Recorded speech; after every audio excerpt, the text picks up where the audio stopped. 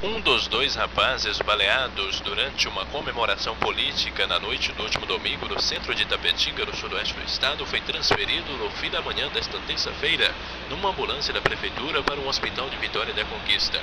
Marcos Santos Barbosa, de 15 anos, foi baleado no rosto. A transferência do paciente, que foi socorrido para o Hospital Cristo Redentor, era para ter ocorrido na mesma noite do fato, mas a falta de vagas em hospitais da região foi o principal motivo da demora. O tiroteio que deixou duas pessoas feridas e uma multidão em pânico aconteceu na Praça Deire Vale por volta das 10 da noite. A segunda vítima foi identificada como Hugo Silva, de 22 anos. Ele foi baleado no tórax. A situação foi controlada por homens do Beto e Rotan.